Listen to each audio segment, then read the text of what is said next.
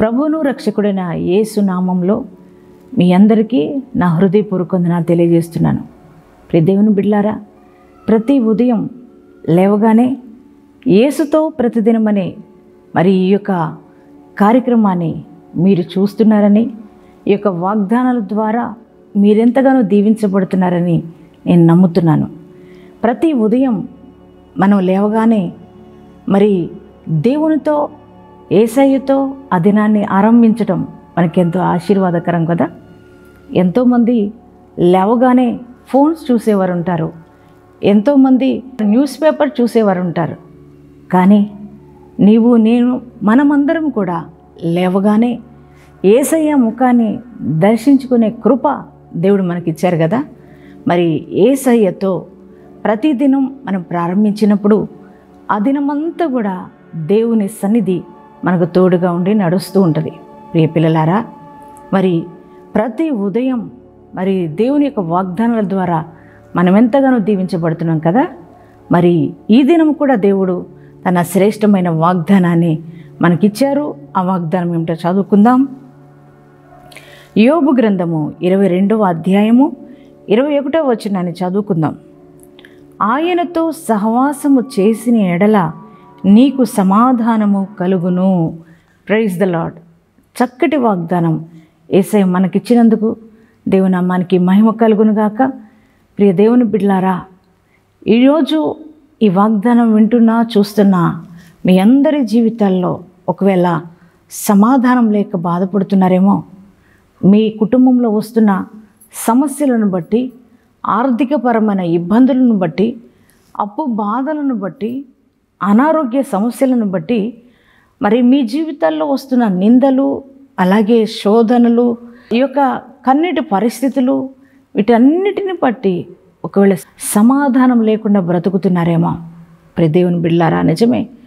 ఈ రోజుల్లో చాలామందికి ధనం ఉంటుంది కొంతమందికి ఆస్తి ఉంటుంది మరి అంతస్తు ఉంటుంది పేరుంది ప్రఖ్యాతులు ఉన్నాయి. కానీ మానవుడు సమాధానం లేకుండా బ్రతుకుతున్నారు కదండి? మరి సమాధానం కోసం మనిషి ఎక్కడెక్కడికో వెళ్తున్నారు. కానీ ఏ స్థలాలకు వెళ్ళినా సమాధానం లేక సమాధానం పొందుకోలేక మరి ఎంతో నిరాశతో ఉండిపోతున్నారు. మరి తినడానికి అన్నీ ఉంటున్నాయి. కానీ కుటుంబంలో అన్నీ ఉన్నా కానీ సమాధానాన్ని కోల్పోయి బ్రతుకుతున్నారు. ఈరోజు నీ పరిస్థితి కూడా అలాగే ఉంది కదా? మీ గృహంలో ఒకవేళ అన్నీ ఉన్నాయేమో కానీ సమాధానం లేకుండా ఉన్నారు కదా? అలాగే భార్య భర్తల మధ్య వస్తున్న డిస్టర్బెన్స్ వల్ల మరి అలాగే బిడ్డలు మాట వినకపోవడాన్ని బట్టి అలాగే నీ జీవితంలో ఉన్న ప్రతికూలమైన పరిస్థితులను బట్టి సమాధానం లేకుండా ఉంటున్నారు. అలాగే కొంతమంది అయితే మరి మీ మీరు మీ జీవితంలో ఉన్న పాపాన్ని బట్టి సమాధానం లేకుండా ఉంటున్నారు. ప్రియ దైవజనమా మరి ఈ సమాధానం ఎక్కడ దొరుకుతుంది అని ఒకవేళ ఆశతో ఎదురు చూస్తున్నారేమో సమాధానం కోసం వెదుకులాడుతున్నారేమో మరి సమాధానం ఏ ఒక స్థలాల్లో దొరుకుద్దని మీరు ఒకవేళ ఆశిస్తున్నారేమో ప్రి దేవుని బిడ్లారా మరి ఈ ఉదయకాలం ప్రభు నీతో మాట్లాడుతున్నారండి. నువ్వు ఏ స్థలాలకు వెళ్ళినా హిమాలయాలకు వెళ్ళినా ఒకవేళ నువ్వు ఎక్కడెక్కడో ప్రయత్నం చేసినా ఎంతో ధనం నువ్వు ఎక్కడైనా వెచ్చించి సమాధానం కోసం వెంటాడినా ఎక్కడ కూడా నీకు సమాధానం అనేది దొరకట్లేదు కదా? మరి కానీ ఈరోజు నీ ప్రభు నీతో మాట్లాడుతున్నారు. సమాధానం ఎలా నీ జీవితంలోనికి వస్తుందంటే దేవుని వాక్యం సెలవిస్తుంది. ఈ రోజున దేవుడు వాగ్దాన రూపంగా నీతో మాట్లాడుతున్నారు. ఆయనతో సహవాసం చేసిన ఎడల మన జీవితాలకు సమాధానం కలుగుతుందండి. ఎందుకని? ఎవరితో సహవాసం? ఏసయ్యతో మనం సహవాసం చేసినప్పుడు దేవుడు మనతో మాట్లాడుతున్నారు. మనం సమాధానం పొందుకోగలుగుతాం. ఎందుకనంటే యెషయా గ్రంథంలో తొమ్మిదవ అధ్యాయం ఆరో వచనంలో రాయబడింది ఆయనకు సమాధానకర్త అని సమాధాన అధిపతి అని ఆయనకు పేరు ఉంది కదా. ప్రియదేవుని బిడ్లారా అంటే మనకు సమాధానాన్ని ఇచ్చే దేవుడు ఏసై ఒక్కడే. ఆయనతో మనం సహవాసం చేసినట్లయితే మన జీవితాల్లోకి మన బ్రతుకుల్లోకి మన కుటుంబాల్లోకి దేవుని సమాధానం మనం పొందుకోగలుగుతాం. సమాధానం కోసం ఏవేవో ప్రయత్నాలు చేస్తే నీకు ఉపయోగం ఉండదు. ఎక్కడికి వెళ్ళినా సమాధానం అనేది రాదు నాన్న. నువ్వు దేవునితో ఏసైతో నువ్వు సహవాసం చేస్తే చాలు. ఆయన నీకు సమాధానాన్ని అనుగ్రహించే దేవుడు. అంటే నీ ప్రతికూలమైన పరిస్థితులన్నీ చక్కపరిచి నీ జీవితంలో ఉన్న వేదన కొట్టివేసి నీ కుటుంబంలో ఉన్న ఆర్థికమైన ఆ పోరాటాన్ని తొలగించి నీ శరీరంలో ఉన్న అనారోగ్యాన్ని తీసివేసి నీ జీవితం మీద ఎలా ఏలుబడి చేస్తున్న పాపాన్ని తీసివేసి నీ యొక్క కుటుంబాల మీద ఏలుబడి చేస్తున్న ఆ శాపాన్ని కొట్టివేసి నీ హృదయంలో ఉన్న ఆ పాపాన్ని తొలగించి నీకు సమాధానం ఇవ్వగలిగే దేవుడు నువ్వు ఆరాధిస్తున్న దేవుడు. అందుకే ఆయనతో సహవాసం చేయండి. ప్రియ దైవజనమ దేవునితో మీరు సహవాసం చేయండి. దేవునితో సహవాసం చేసి మీ అందరికీ దేవుడు సమాధానాన్ని ఇవ్వబోతున్నాడు. మరి నువ్వు కూడా దేవునితో సహవాసం చేస్తున్నారు కదా మీరు కూడా? మరి మీరు కూడా దేవునితో సహవాసం చేస్తున్నట్లయితే దేవుడు మీకు సమాధానాన్ని ఇస్తారని ప్రభు మాట ఇస్తున్నారు వాగ్దానం ఇస్తున్నారు. మీరు నమ్ముతున్నారా? ఆయనతో సహవాసం చేసిన మీ అందరికీ దేవుడు సమాధానాన్ని ఇస్తానని చెప్పారు కదా.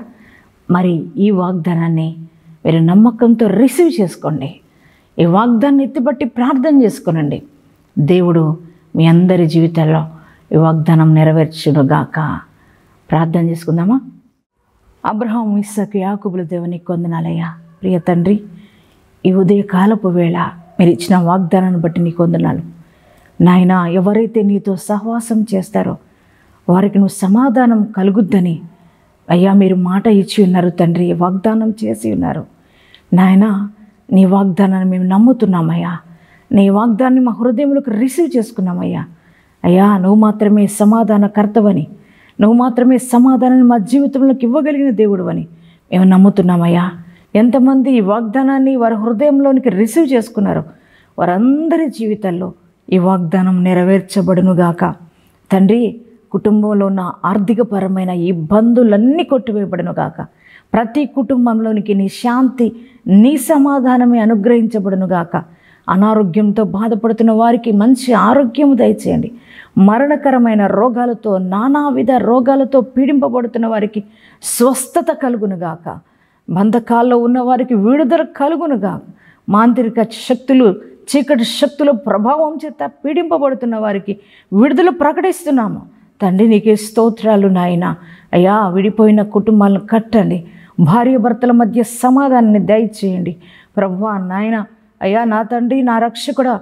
అయ్యా వివాహం కాని పిల్లల యొక్క జీవితాల్లో మంచి భాగస్వాములు దయచేయండి.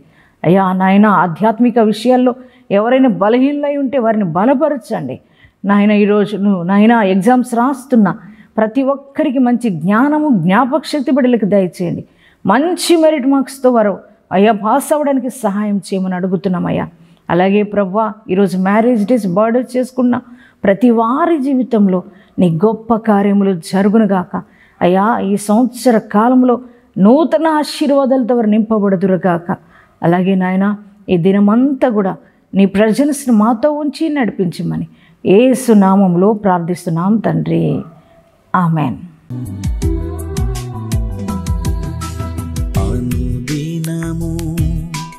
నా ప్రాణము. నిన్ను కోరే యేసయ్యా నన్ను చేరయ్యా.